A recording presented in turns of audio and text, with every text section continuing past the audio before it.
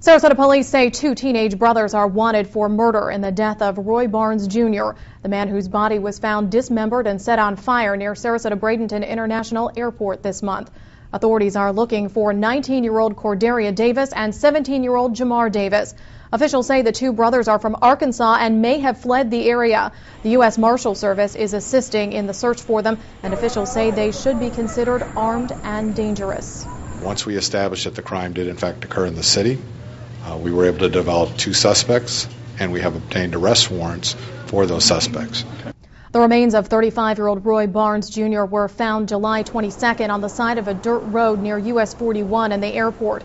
An autopsy revealed Barnes had been shot at very close range with a shotgun, according to a search warrant. The warrant also said the body was cut into 10 pieces and placed into garbage bags.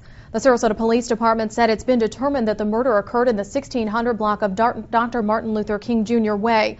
Police say although warrants have been issued for two suspects, an investigation into this case continues.